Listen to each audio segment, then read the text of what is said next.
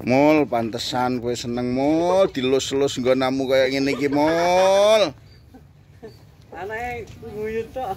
Delok mul diempuk-empuk mul. Jo gak usah itu yang satunya, Tok. Yang ini ta. Yang itu